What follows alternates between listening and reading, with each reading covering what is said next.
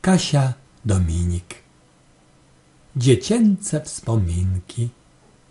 Będąc malutką dziewczynką, kochałam czytać bajeczki, zapiekanki babci z szynką, kiszone ogórki z beczki.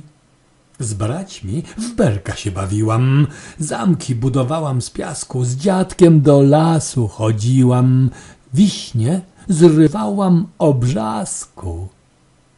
Beztroskie dzieciństwo miałam, z polnych kwiatów wiłam wianki. Po trawie boso biegałam, kochałam letnie poranki.